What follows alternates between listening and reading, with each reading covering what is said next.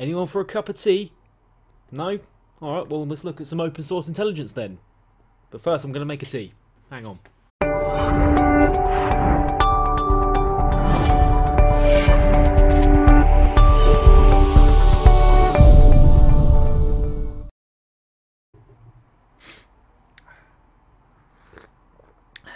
That's better. What's up, guys? So today, I'm in a hotel room. Because I'm on a client site with work, and it's currently half 9 pm, and I'm weird, and I've brought my webcam and microphone to a hotel to make YouTube videos for you. Um, just thinking, the maid is probably going to think I'm doing some weird stuff here, because I leave this when I go out and she cleans the room, and she's probably thinking weird things. Or maybe that's just me. Anyway, moving on. So this video today is about open source intelligence and what open source intelligence is. It's basically a gathering of information which you can query to find out things. So very easy example of this is using a search engine such as Google. Uh, you type things into it and it gives you a result. So that's uh, kind of open source, you know, because everyone everyone ha that has a website is going to be indexed by Google if you allow it to. Um, so that's the open source side of it, and you can gain information depending on what you query. So, uh, you know, this has obviously become the very the basis of a lot of things of the world today. You know, kids Google things to help with their homework.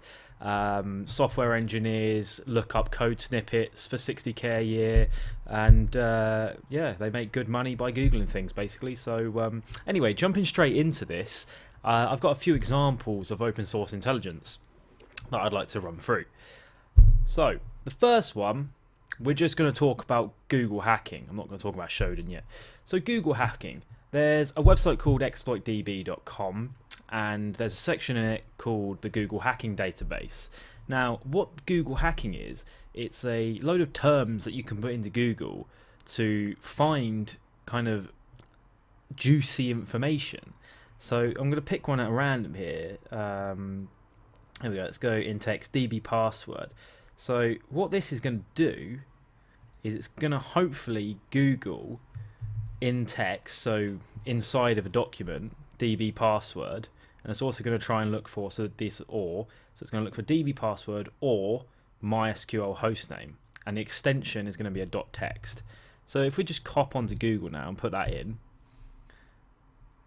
we get a listing. So we can see this is obviously a Google hacking dork is what it's called for WordPress config files. So some people have been silly enough to leave their config files in a text file. So we're looking for text here, that's a text file, and inside that text file we're looking for DB password and MySQL hostname. So if we go on the first result here, straight away we can see that someone's left a password in the text file. Whether that's valid or not, I don't know. And it would be unethical of me to try it. So I'm not going to do that live. Um, go into the next one. Again, another new password. So this is Google hacking is a very very good way to find juicy information, um, and this is all open source and arguably uh, arguably legal. Um, just don't do anything with it because that would be bad. So that's Google hacking. Moving on, we've got a website called Shodan. Now, you know, people have seen this. I'm sure of it because, you know, it's it's very common these days, and it's it's a very cool tool. So the holiday the Holiday Inn I'm staying at is what we're going to use as kind of a, um, a learning tool here.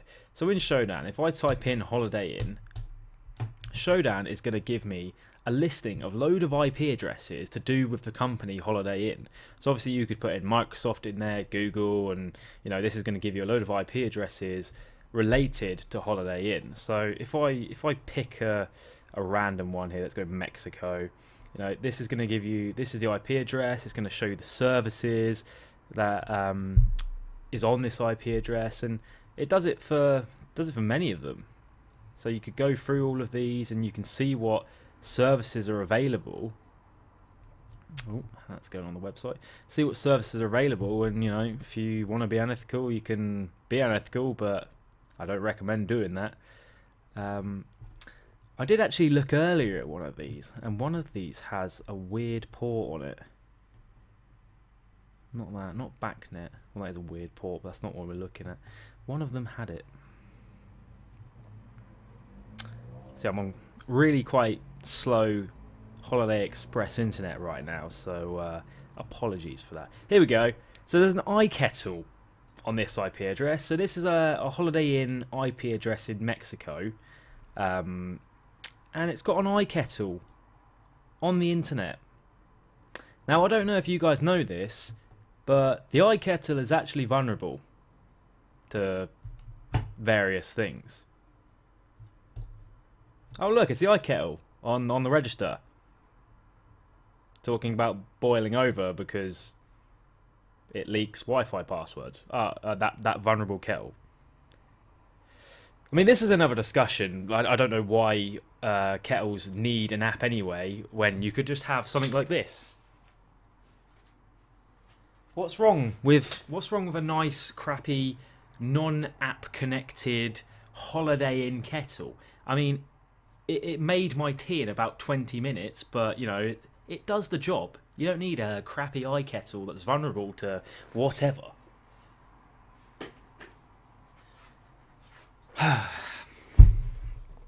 anyway, going back to Shodan. Shodan's a really cool tool. Shows you lots of ports without you having to do an nmap scan yourself of these IP addresses. Um, so it kind of takes a little bit of the kind of legal side away from you. Um, so you can find out what ports are open on what IP addresses without possibly getting into kind of a legal talk about scanning things that you might not be allowed to do. Um, and that's why it's a cool tool. But not only this, you can you can see a lot of things on here. Shodan even supports um, um, what's it called? Uh, the, the, the, industrial control systems. That's what it's called. So you can look at kind of industrial control systems like Siemens and um, other manufacturers that control like water plants, and electricity grids, and things like that. You can see that on Shodan.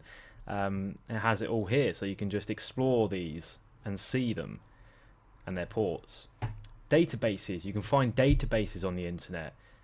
Video game hosting IP addresses, you can search for all that on Shodan. It's a it's a open source intelligence queryable kind of IP address database. It's it's a really cool tool. Uh, you can search by port, so let's search for something stupid like Telnet.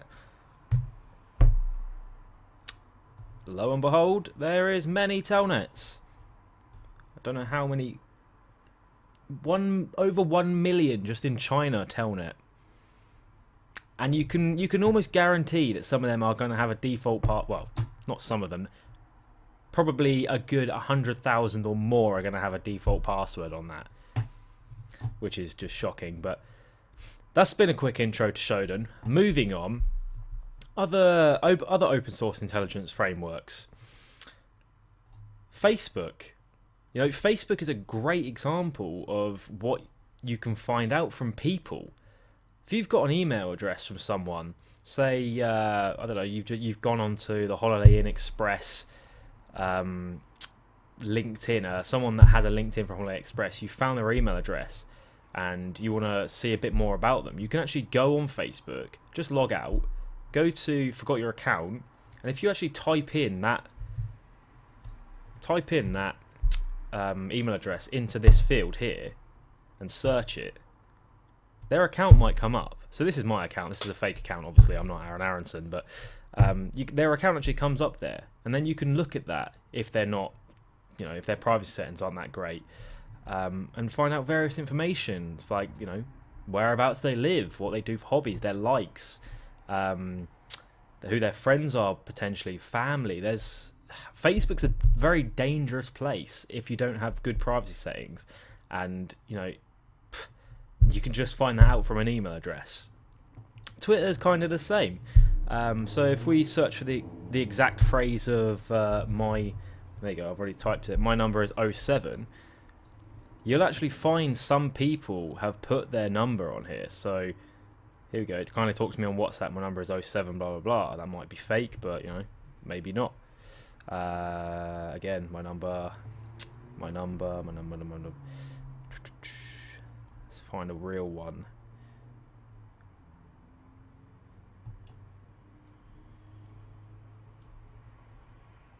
There will be someone on here.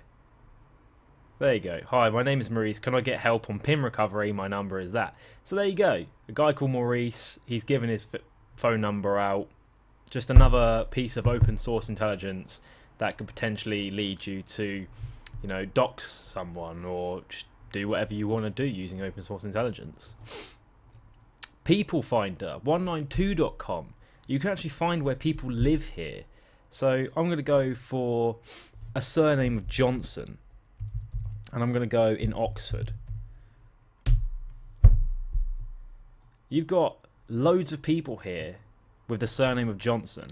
Now, if you want to find a specific person, obviously you're going to know their first name probably. So let's go Geraldine Ann Johnson. If you want to find this person out, if you sign up to this website, you can actually see their exact address on here.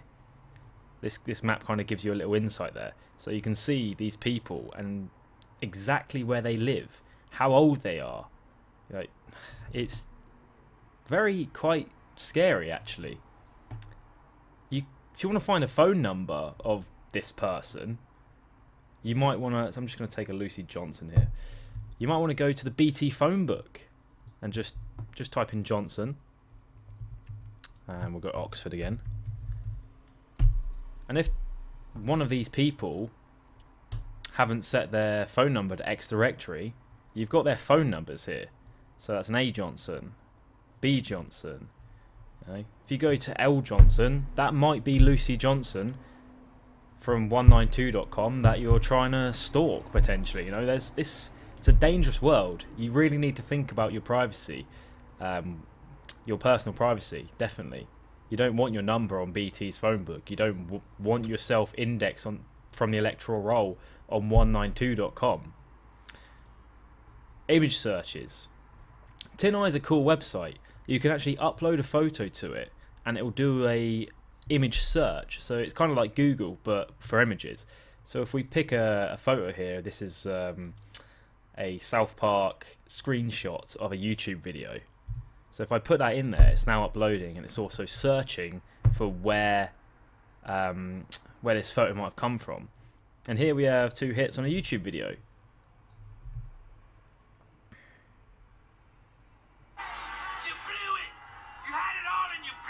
So that's where the photo came from. You know, this this could be used to find fake accounts on Facebook. Maybe someone's trying to catfish you. Maybe you've just got a uh, a stalker, someone that's pestering you. You can take their photo, pop it in here, and they might find you the real account, the real person. Moving on again. Where are we going now? The Harvester, another cool tool. So this has been around for, man, it's been around for years. But it's still a really, really cool tool for social engineering um, and open source intelligence altogether. So ihg.com, that's Holiday Inns, and we're using them as target at the moment. So what this does, the harvester dash D, that's the domain, dash b, that's the uh, the search uh, search que what we're querying. So we're querying LinkedIn at the moment. If we do that, that's going to give you a load of people that have things to do with Holiday Inn in their LinkedIn bio, which you can then use to potentially do a social engineering attack. So you could do, for example, Nick Rich. If you know the Holiday Inn email format, you could take that and do a phishing email to Nick Rich. So, you know, the email format's probably going to be something like nick.rich at igh.com or ihg, I think it is, .com um, and try and gain his password and do whatever you want with it. So not only this, LinkedIn, you've also got Google search for the domain IHG.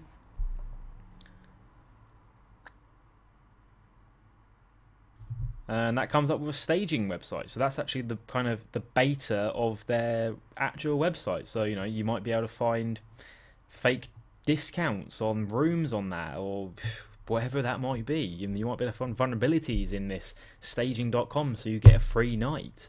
Uh, not only Google, you can also go with Bing.